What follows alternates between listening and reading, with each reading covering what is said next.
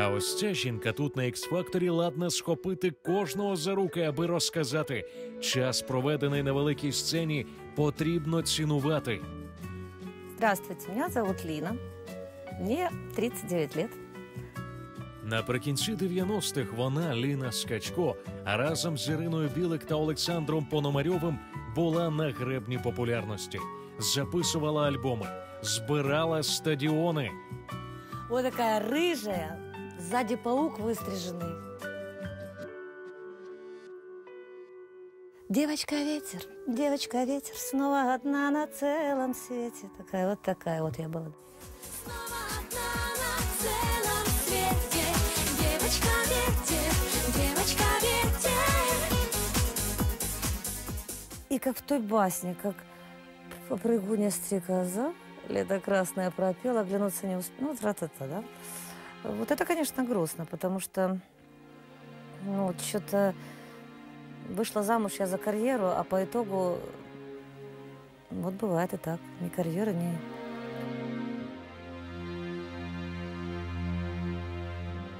Ну, хочется окунуться вот именно вот в эту атмосферу, ну, когда ты собирал стадионы, ну, работал, да, на стадионы, и вдруг остаться без этого, это все равно, что ну, не хватает воздуха.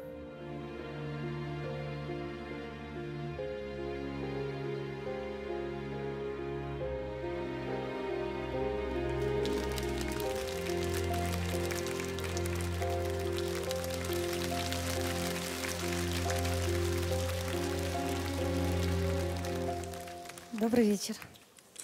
Здравствуйте, Лина. Здравствуйте. В 90-х годах вы выступали вместе с Ириной Билык. Подпевала. Ну, выступали же. И выступали. А к нам пришли с какой Спустя целью? 10 лет. Кажется, что это было вчера. Я вас понимаю, А, Лина. Так, а с какой целью к нам пришли? Потому что живу музыкой, без нее не могу. Ну, как-то вот...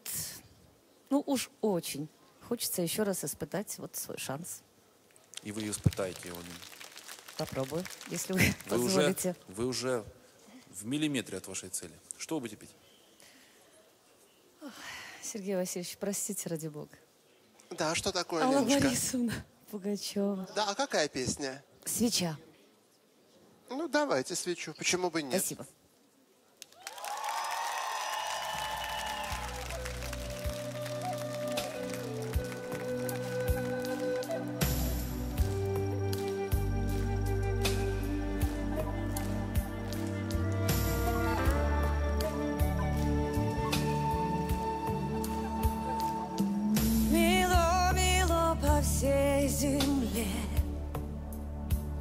Во все пределы. Свеча горела на столе,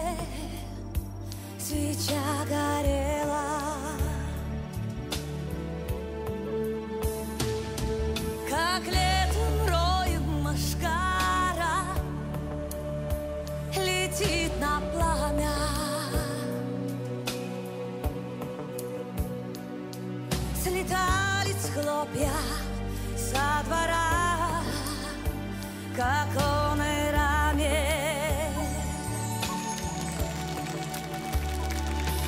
Метели била на стекле, кружки, стрелы. Хорошо поет.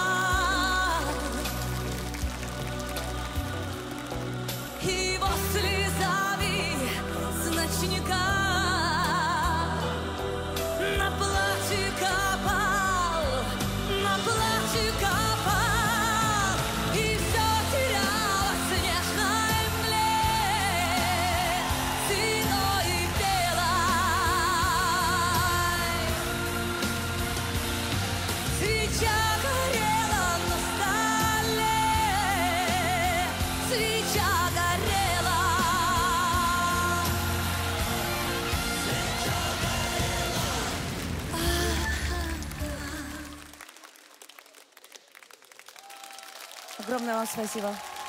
Спасибо большое.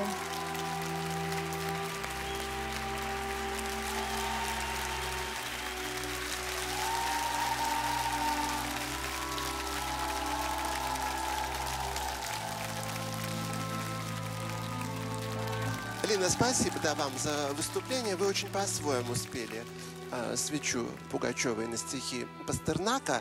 А, именно по-своему. Мне понравился тембр голоса. А, где-то дали даже где-то даже были слышны нотки Пугачевой, э, э, такие вот очень красивые, только ее такие своеобразные, с придыханием. Мне это нравится. Я говорю да. Спасибо большое. Спасибо. Іра, будь ласка, твоя думка. А я думаю, что Лина ярчайший представитель э, категории 25+. Нам нужны такие люди. Я говорю да. Спасибо огромное. Безупречно. Спасибо, Ир. Спасибо.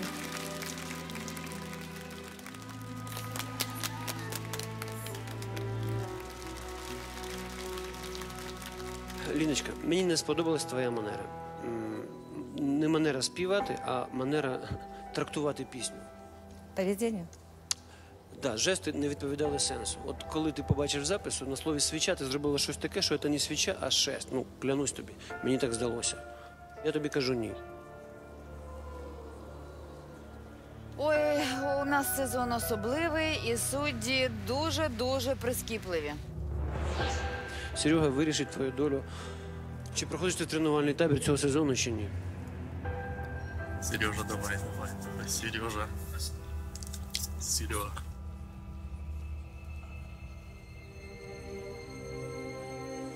Лина, мне кажется, что вам очень важно было прийти к нам сюда на кастинг и попробовать, и не просто попробовать, а вы поставили себе какую-то цель.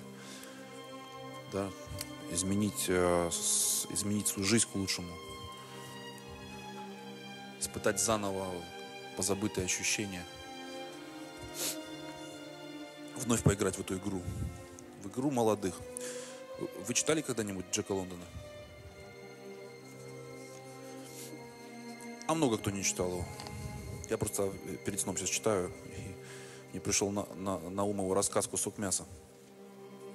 Там смысл в том, что старый боксер очень опытный, проигрывает молодому только потому, что тот молодой, и у него больше сил. Не больше опыта, а больше сил. А, а старый, он был когда-то молодым и был в фаворе, очень хорошо зарабатывал когда-то, а ему просто с утра нужно было съесть кусок мяса. И у него не было денег купить, и никто ему не одолжил. И он со всем своим опытом вот практически, практически выигрывал бой уже, очень тяжелый, трудный, экономил силы, получал удары и не смог победить молодого. Я сейчас упаду, я представляю, как ей там вообще. И вот артисты, ко- которые и люди, которые были на сцене, когда они делают перерыв, большой перерыв, они тешат себя, тешат себя надеждой, что можно вернуться. А в жизни это все иначе по- получается. Я же тоже 10 лет назад был очень популярен. Это кажется только, что я могу вернуться. Это только кажется, что люди ждут мой новый альбом. Это только кажется. Нет. Вот такая вот, вот такая вот правда жизни.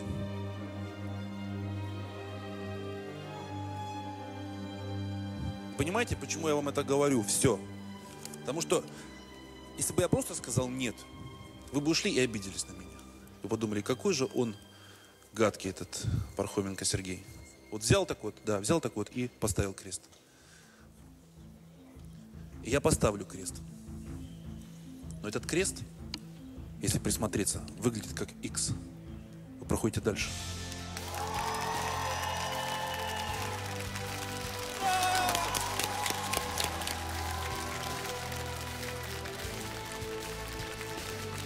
Потому что я не Джек Лондон, и я хочу написать свою концовку.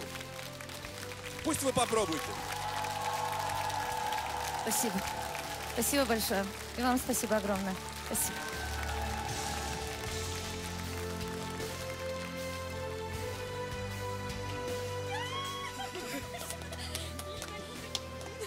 Лина, как тебе?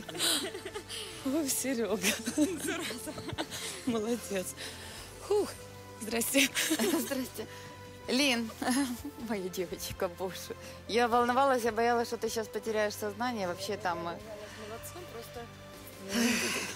Я прочитаю сегодня ночью. Так что напишем другую концовку? Да, напишем, постараемся написать.